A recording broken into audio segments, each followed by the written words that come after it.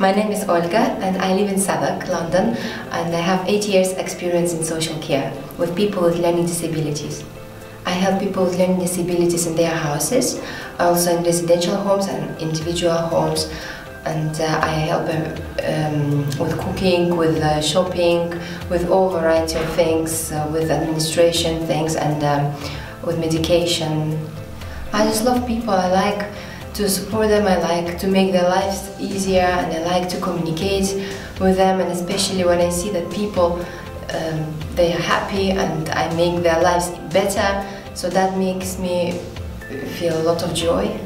I'm a mom with three kids, so I spend a lot. I spend a lot of time with my children, and also I'm enjoying playing guitar and uh, writing music and taking photos and traveling.